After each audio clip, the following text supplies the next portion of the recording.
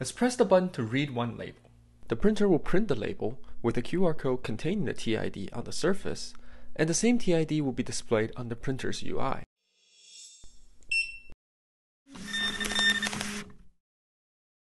Hello everyone, and welcome back to another episode of OX Script Tutorials. In this episode, we'll be covering how to read RFID information such as TID or the EPC of the tag, and print it on top of the label as well as display it on the printer's UI. Let's get started. So, just like last time, we'll start off with opening our IDE of choice and downloading the relevant dependencies. If you haven't seen the first episode, I'll highly recommend you checking that out first before continuing in this video. The link to the first video is going to be down in the description below. Once we have our IDE open and also the folder set up, as well as our dependencies installed, we can start making the script. It is always a good idea to have a good understanding of what you're building before you actually start coding. So let's quickly go over the UI elements first. Since this script is more so just to demonstrate the ability to read from RFID tags, we'll only be adding a text box to display the value that we've read in from the tag, as well as a button to initiate the printing process. It is quite quick and easy to add those two elements. Let's start with the text box to display the RFID tag information. And before that, it is usually a good idea to check if the name is equal equals to main to make sure the Python file that's being executed right now is the main file that the user actually want to execute. Okay.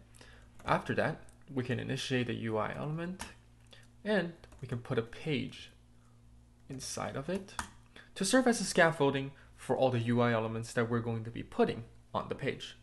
The first element in this case is going to be a UI text box. We can add it by simply typing ptk UI text box. I'm going to give it a title of tag TID so that the user can clearly see what this signifies. And also I'm going to leave the initial value as empty so that we can update it later.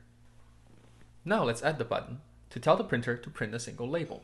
It is just going to be a very simple PTK UI button and I'm going to give it a title of start printing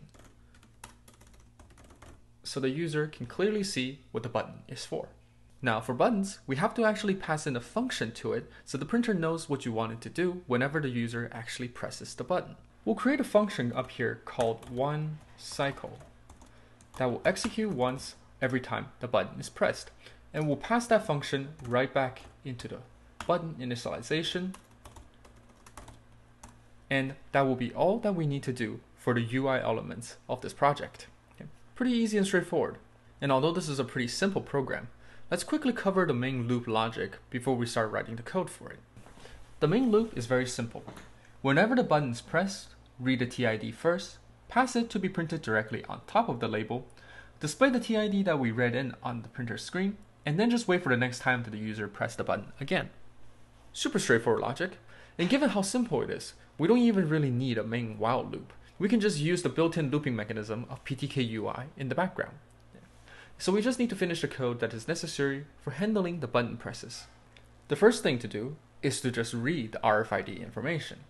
We can do so with the function data equals to ptk read RFID. And since we're interested in the TID for this example, I'm going to specify TID in the parameters.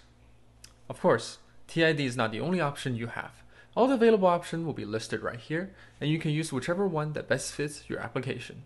Once that's done, Let's check to make sure that the reading operation was successful and actually was able to read in the appropriate information.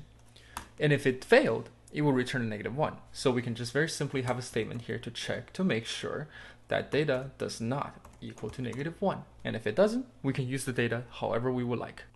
In this simple example, we want to be able to write the TID back to the surface of the label, and we can do so with this simple function right here. We also set the label height to be 36.2 millimeters tall, but of course that's going to be different depending on the label that you're using. Okay. I also truncated the data, which is the TID a little bit, to make sure that it look a little nicer on display. So now that we have obtained the TID, as well as printed on top of the label, we're still missing the final process in which we update it on the printer's UI. To do so, we recommend taking advantage of the walrus operator. To use the walrus operator, I'll first create a global variable called TID controller. And I'm going to set it equal to the PTK UI text box initialization using the walrus operator. So I'm going to have TID controller. This way, the variable will be initialized alongside the UI page and can be used anywhere in the script.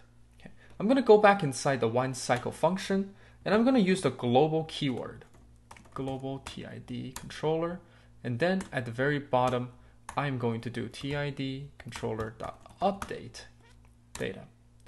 And there we go. That's all that we need to do. Let's see it in action. If you haven't seen the first video on how to debug the program using the POSTEK Companion app, I would certainly recommend checking out the video first for how to debug, as well as how to install new programs onto the printer. You can find the link to the video as well as the link to the source code in the video description below. With the OX Script loaded up on the printer, we can simply go into Settings, OX Script, and select the file we just uploaded. And as you can see, the UI is exactly as we programmed. Let's press the button to read one label. The printer will print the label with a QR code containing the TID on the surface, and the same TID will be displayed on the printer's UI. Of course, displaying the TID on the printer's screen is not necessarily the most useful end result with that information. It will certainly be a great idea to take that information and log it into a database or some kind of asset tracking software to help us manage the information. I'll be showing you a very simple example using Google Sheets in the next episode, where we will take the information we just got here and log it into a Google Sheet document so that we can have a better idea of exactly what data is printed to what RFID tag in real time. For now, thank you all for watching. Please like and subscribe, and I'll see you in the next one.